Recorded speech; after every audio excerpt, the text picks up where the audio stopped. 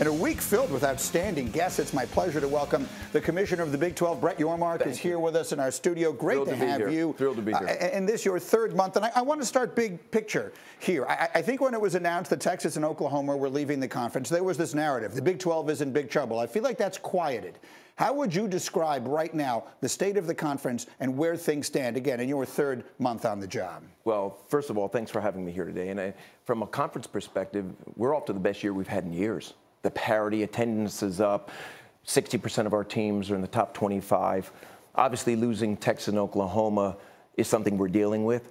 But this conference is much bigger than two teams, and we're excited about our future. And when you think about expansion and the four teams coming in in July Cincinnati, UCF, BYU um, we, we've got a huge opportunity here and very excited about it.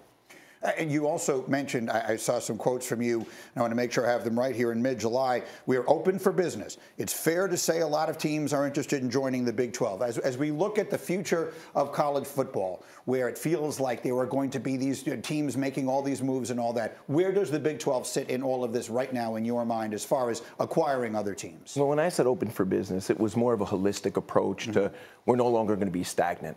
We're exploring every and all opportunities, whether it's expansion, how to diversify revenue, potentially uh, accelerating our TV negotiations. And but from an expansion standpoint, you know, we're vetting all options.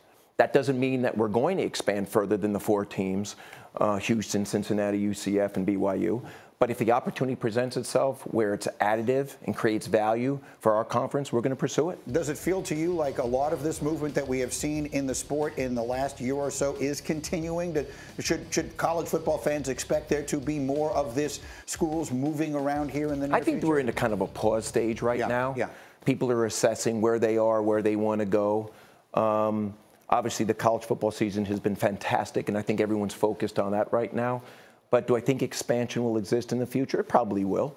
And we'll see how it plays out with the Big 12. Uh, You're a person who's had a very diverse background in a variety of different areas of the sports world, and marketing is such a big part of all of that. With a lot of your history, I know that you just hired a new chief marketing officer. What are the what are the directions that you would like the image of the Big 12 to take? What do you want people to think of when they think of your? Well, I want them to vote yes for the Big 12. I think we need to contemporize the brand. We need to modernize it. We've got to attract younger viewers, younger fans.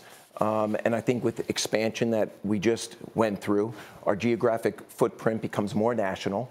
We're in eight states, over 75 million people. So I think there's a real opportunity to get on the consciousness of future student athletes so they can vote yes for the Big 12, and that's our goal. And, and then one more for you here. You now have a seat at one of the most powerful tables in sports as the conference commissioners sort of make a fu- the, the future of the sport and the playoff a reality. What can you tell us about the conversations about expanding the playoff to 12 teams, all the rest of that, and where you view your conference falling in with all of that? I think expansion is certainly something that we're we're all enthusiastic about. Uh, there's a lot of work that still needs to be done, but um, I'm very optimistic, and hopefully within the next couple of weeks, you know, we we can drive towards a definitive answer. But I'm very optimistic. All right, well, I, I would do this forever. It is such a pleasure to have you here. Thank Please you so much for having me. Thank you so much, Appreciate Brett. Yormark, Thank the you. Uh, Big 12 commissioner.